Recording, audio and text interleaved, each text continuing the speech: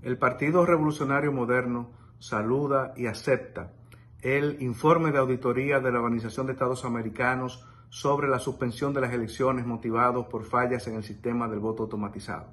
El PRM espera de la Junta Central Electoral tomar las medidas de lugar para sanear las direcciones de informática y la Dirección Nacional de Elecciones, sobre todo con el personal que estuvo involucrado en estos lamentables hechos.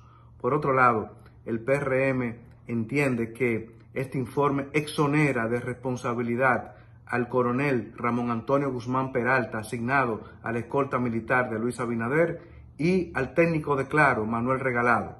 Le corresponderá ahora a la justicia resarcir el daño ocasionado. Finalmente, el PRM entiende que la Junta Central Electoral debe de tomar las medidas necesarias para que las elecciones del 5 de julio sean libres, soberanas, justas y con equidad.